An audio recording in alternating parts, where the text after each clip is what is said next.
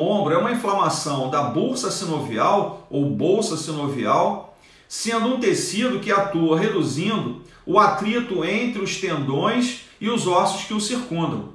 A bolsa sinovial atua como um amortecedor entre os ossos e os músculos e a sua pele que o envolve. Existem diversas causas que levam a esse tipo de inflamação. O uso excessivo dessa articulação, os traumas ortopédicos no ombro, a movimentação excessiva e repetitiva, lesões por esforço repetitivo, as famosas LER ou DORT, as osteoartrites de ombro, infecções que afetem a articulação escapulomeral e até mesmo a artrite gotosa, ou alguns conhecem com o nome de gota. Quais são os sinais e os sintomas para estes casos?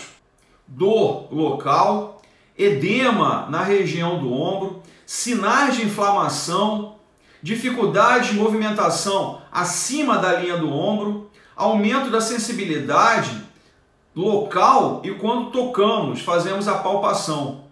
A avaliação através de exames de imagem indicaremos a tomografia computadorizada, a ressonância nuclear magnética ou mesmo o uso da ultrassonografia. Quais são os objetivos que a fisioterapia fará uso no tratamento?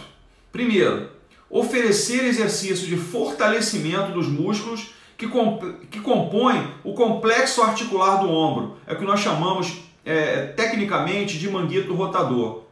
Nós aliviaremos a dor, atuaremos na prevenção da reincidência da patologia, ou seja, a recidiva, aumentaremos a mobilidade articular e faremos uso de alongamentos dos músculos para melhorar a função dos movimentos do ombro. Qual o tratamento através da fisioterapia? Bom, na fase aguda, faremos orientação de repouso ao paciente, uso do gelo, ou seja, a crioterapia por 30 minutos, 3 a 5 vezes ao, 5 vezes ao dia, o laser e ultrassom combinados com a manipulação miofacial e alguns exercícios chamados de pendulares, os exercícios de Cosma e sua técnica. Então, pessoal, o ombro é a articulação mais móvel do corpo, mas mesmo assim as estruturas que o circundam não dão uma boa estabilidade para o ombro.